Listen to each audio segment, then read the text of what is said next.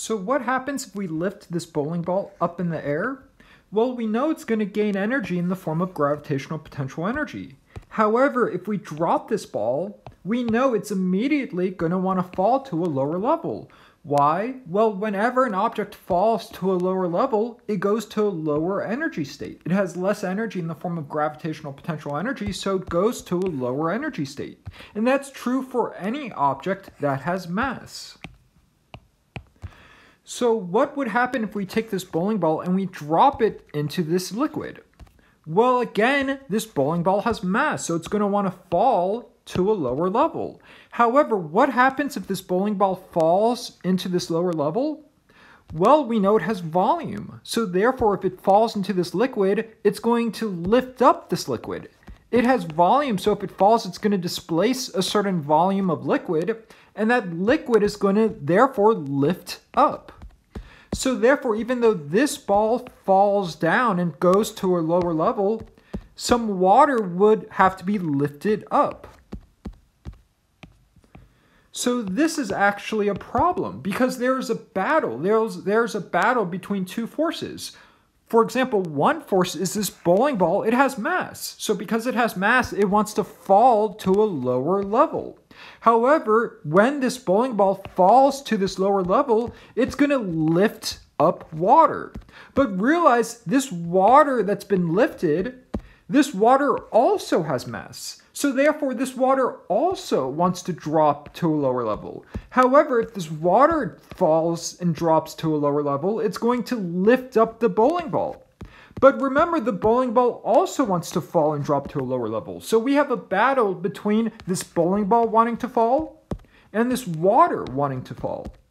So again, all objects with mass want to fall to a lower level. This bowling ball has mass, so it wants to fall to a lower level. But this displaced water also has mass, so it also wants to fall to a lower level. So if we were to characterize these forces, we know this bowling ball has a mass, so therefore it has a weight. It has a weight that applies a force pushing this bowling ball downward due to its mass, due to its weight. But this displaced water also has a mass, so it also has a weight. So it also feels a force wanting to go downward. And when this bowling, when when this displaced water applies that force going downward, it's going to lift this bowling ball upward. So this force that's lifting this bowling ball upward is called the buoyant force. So where does this buoyant force come from? Well, again, it comes from this water wanting to fall down. And as this water falls down, it lifts this bowling ball upward. It applies that buoyant force. So if we were going to analyze the forces that this bowling ball feels, we would see it feels two forces. It feels a force downward due to its mass. And again, all objects with mass have a weight, so, so they feel that force downward. So clearly this bowling ball has mass, so therefore it has a weight, so this bowling ball is feeling a force downward, but it's also feeling a buoyant force upward. Because again, this water falling down, as it falls down, it lifts this bowling ball upward. So therefore, if we drew a free body diagram for this bowling ball, we see it's feeling two forces due to its weight going downward and due to the buoyant force going upward. So let's analyze these two forces that this bowling ball is feeling. So of course it's feeling a force due to its weight. So how do we quantify that weight? Well, we know force equals mass times the acceleration due to gravity. So therefore, if we know the mass of this bowling ball and multiply it by the acceleration due to gravity, we can determine the weight of this bowling ball. So let's say this bowling ball has a mass of 10 kilograms. We know the acceleration due to gravity is 10 meters per second squared, so therefore we could determine that this ball is feeling a force of 100 newtons due to its weight. So again, this bowling ball has mass. So of course it has a weight that's that it feels a force going downward, and let's say that force is 100 newtons because it's 10 kilograms. So now we know this bowling ball is feeling a force of 100 newtons going downward. But we also know this bowling ball is feeling a buoyant force going upwards. So how do we quantify that buoyant force that this bowling ball is feeling going upward? Well, again, what is the source of that buoyant force? Again, it's this displaced water wanting to go downwards. And because this displaced water has mass, it also has a weight. So this displaced water feels a force going downward. And as it feels this force going downward, it lifts the bowling ball upward.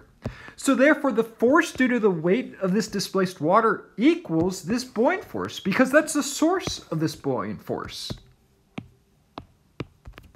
So therefore, we can determine the weight of this displaced water. We can determine the force that this water feels downward, and therefore we can determine the buoyant force this bowling ball is feeling upward. So we need to determine the mass of this displaced water. However, something important to realize is in physics, whenever we're doing fluid mechanic problems, it's very difficult to deal with masses of water. It's very difficult to isolate this specific amount of water and to weigh it. So a trick that physicists use is we know that density equals mass divided by volume. Simple equation. So if we multiply both sides by volume, we're left with mass equals density times volume. And, and so this is a very simple equation. So therefore, it may be difficult to determine the mass of this water. However, it's very easy to determine the density of water. We just look in any old physics textbook, and it's very easy to determine the volume of this displaced water. So therefore, if we can determine the density of this water and determine the volume of this displaced water, we can determine the mass of this displaced water. So again, mass times acceleration due to gravity will give you the weight, the weight of this water. But again, it's difficult to determine again, it's difficult to determine the mass of this displaced water, but it's easy to determine the density of water and the volume of this displaced water. So instead of outright determining the mass, we can just plug in the density times volume instead of mass. Because if we take the density of the water and the volume of the water, that will give us the mass of this displaced water.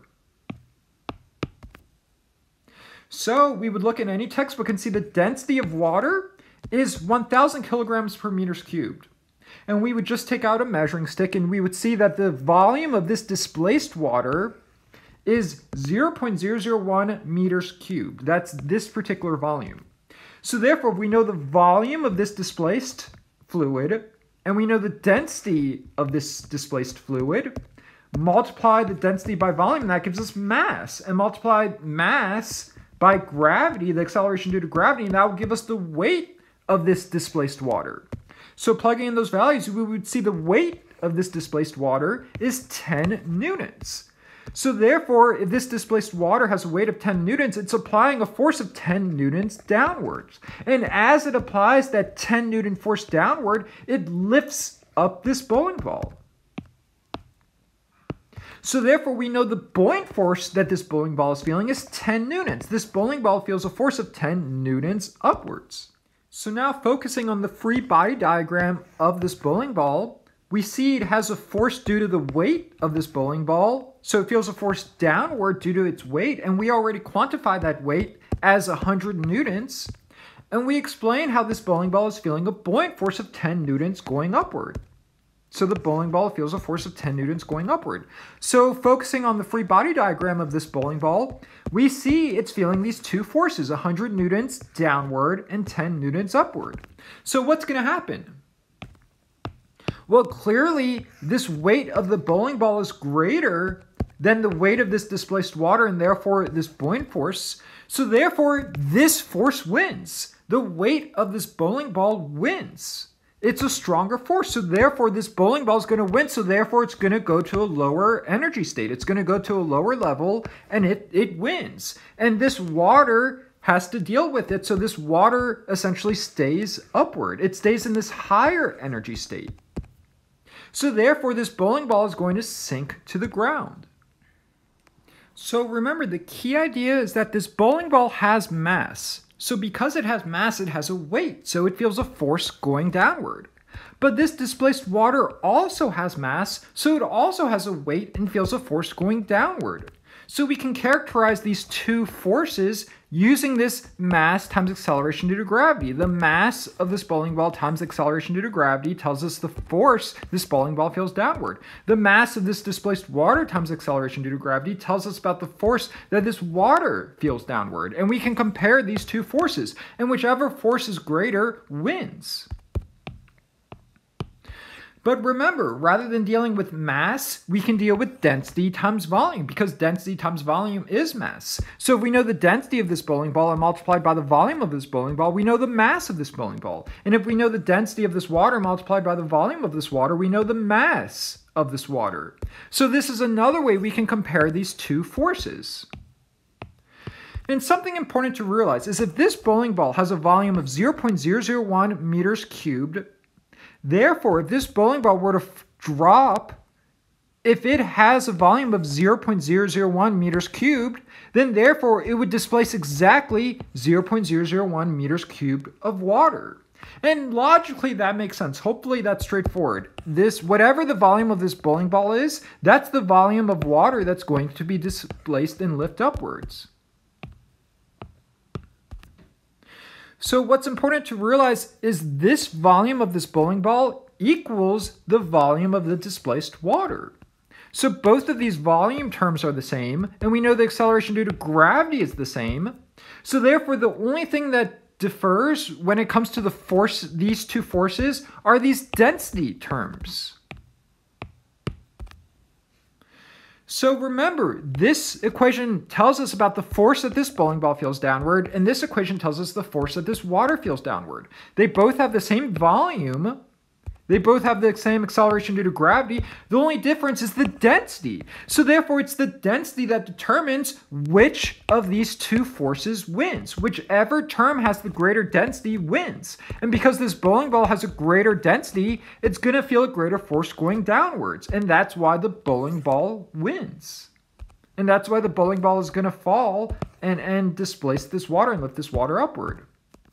So we have already explained how there are two forces battling one another. We know this bowling ball has mass, so therefore it has a weight, and it wants to fall to a lower level.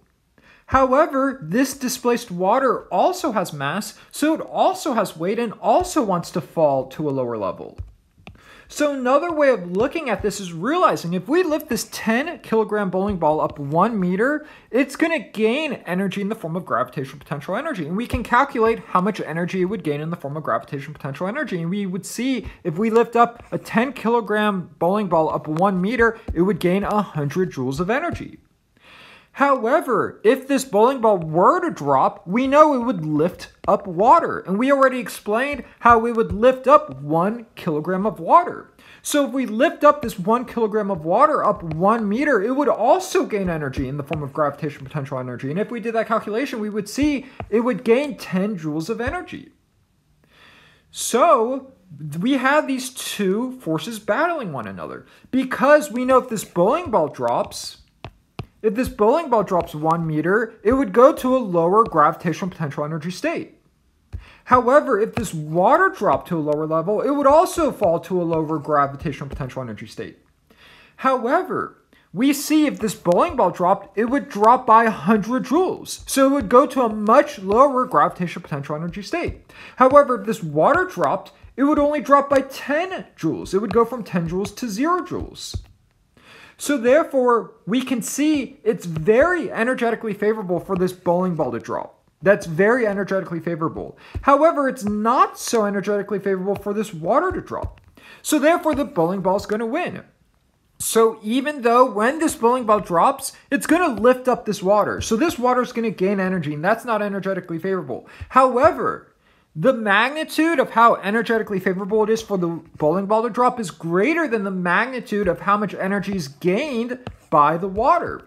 So the point is the bowling ball is happy, it gets to go to a lower level. The water is not happy, it gains energy, it goes to a higher level, but this is so energetically favorable that on balance, it's more energetically favorable for the bowling ball to drop and to lift up the water. Overall, that's on balance, that's more energetically favorable. So that's another way of looking at this, comparing the gravitational potential energy of these two objects with masses falling.